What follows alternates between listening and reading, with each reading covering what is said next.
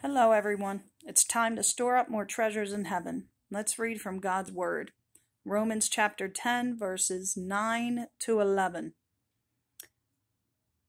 That if thou shalt confess with thy mouth the Lord Jesus, and shalt believe in thine heart that God hath raised him from the dead, thou shalt be saved.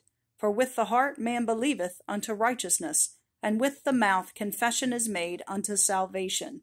For the Scripture saith, Whosoever believeth on him, shall not be ashamed. Everyone, it's time. The Lord will be coming. We need to pray. We need to reach out to our Lord, accept Him, change our lives. He'll help you do it. Read God's Word, accept Him. Today is the day of salvation. We're not promised a tomorrow. Take it seriously, I pray. I thank you for listening.